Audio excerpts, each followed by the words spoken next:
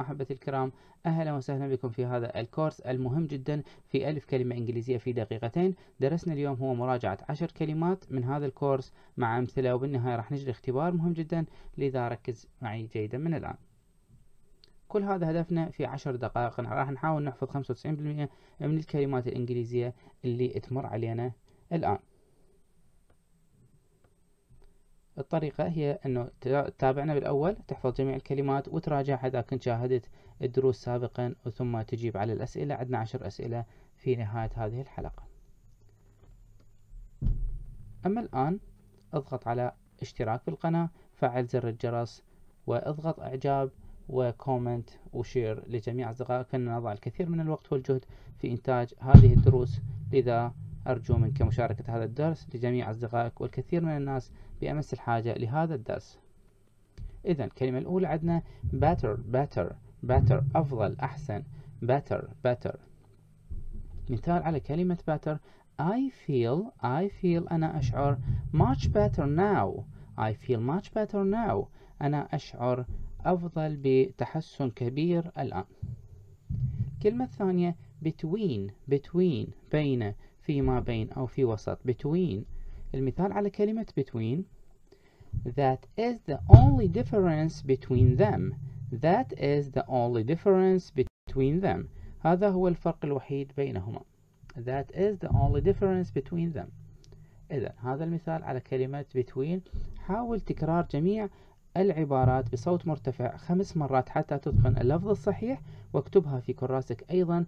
أهم العبارات والكلمات حتى تتقن الكتابة والمحادثة.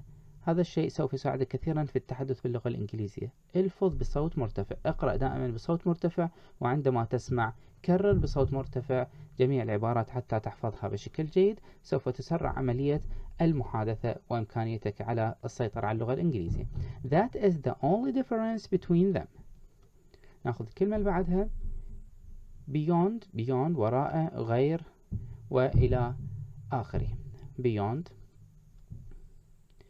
he drove he drove هو قاد ساق drove drive بالمضارع drove بالماضي he drove beyond the border قاد ما وراء الحدود he drove beyond the border قاد خلف الحدود ما وراء الحدود الكلمة اللي بعدها كلمة big big كبير ضخم that would be a big help that would be a big help سيكون ذلك مساعدة كبيرة. وإذا تذكرون مرت علينا كلمة بي فعل بي هو كلمة فعل مهم جدا.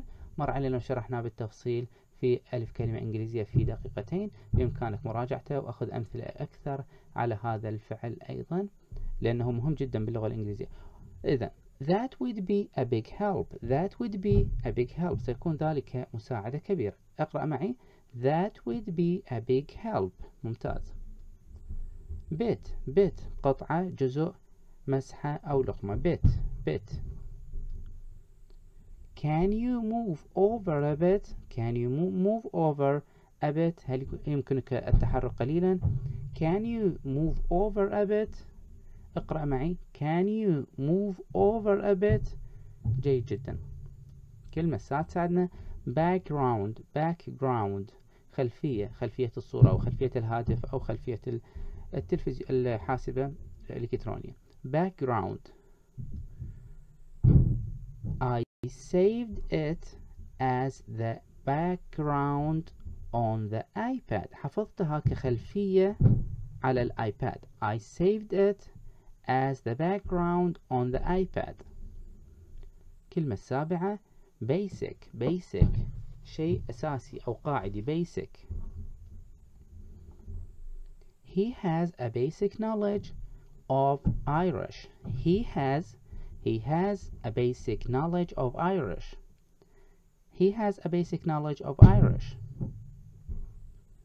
basis basis قريبة على كلمة basic لكن تختلف بالاس basis بمعنى أساس أو قاعدة أو مبدأ أساسي basis what he said had a basis of fact ما قاله كان له أساس من الصحة what he said what he said had a basis of fact والكلمة قبل الأخيرة كلمة body body كلمة مهمة جدا تأتي كثير من المعاني فيها كلمة body جسم أو شخص أو كتلة body المثال على كلمة body عندنا He was working he was working on the body of the car he was working on the body of the car Body السيارة جسم السيارة. تأتي أيضا على جسم الإنسان. He was working on the body of the car. إذا ممتاز. حاول أيضا أن تراجع إذا كنت تريد المزيد من الكلمات والأمثلة على هذه الكلمات سوف تجدها في كورس ألف كلمة إنجليزية في دقيقتين. سوف يظهر الرابط بعد قليل في الأعلى. بإمكانك الضغط عليه بعد إتمام هذا الدرس. ومشاهدة هذاك الكورس بالكامل لأن هناك نشرح الكلمات ونعطي أمثلة إضافية على كل كلمة وأهم المرادفات لها. إذا الكلمة الأخيرة اللي عندنا هذا اليوم كلمة board board مجلس طاولة أو مائدة لوح خشبي أو سبورة board. مثال على كلمة board teachers talk and write on the board. Teachers talk and write on the board. اقرأ معي. Teachers talk and write on the board. يتحدث المعلمون ويكتبون على السبورة. حان الآن موعد الاختبار. ركز معي جيدا من الآن. سوف نبدأ بعشر أسئلة. ناخذها بالتفصيل. جاوب سؤال بعد سؤال. تكتب السؤال رقم واحد والإجابة تحته وتضعه في التعليق حتى أمر عليه وراجعه. وأيضا يستفاد منه الآخرون في تعلم الكلمات الجديدة. إذا السؤال الأول ترجم هذه الجملة للغة العربية من الإنجليزي العربي. Teachers talk and write on the board. ما معنى هذه الجملة؟ السؤال الثاني ترجم هذه الجملة للغة الإنجليزية واستخدم بالترجمة كلمة body. كان يعمل على جسم السيارة. كيف نقول باللغة الإنجليزية كان يعمل على جسم السيارة؟ استخدم كلمة body في هذه الترجمة. السؤال الثالث اكتب معنى هذه الكلمة basis وضعها في جملة. السؤال الرابع اقرأ هذه الجملة. كيف تقرأ هذه الجملة؟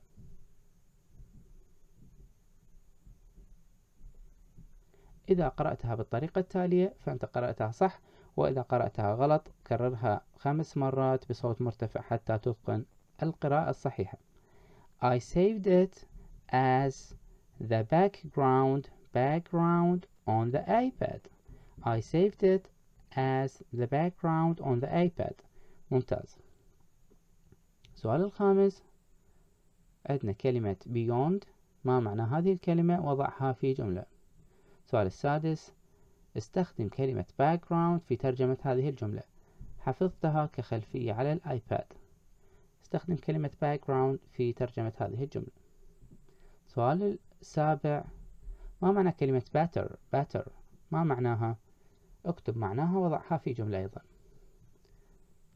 السؤال الثامن he has a basic knowledge of Irish ما معنى هذه الجملة He has a basic knowledge of Irish أما السؤال قبل الأخير That is the only difference between them ما معنى هذه الجملة That is the only difference between them اكتب معنى هذه الجملة إذن والسؤال الأخير سؤال بسيط جدا سؤال عاشر. ما هو معنى كلمة بيت؟ اكتب معنى كلمة بيت.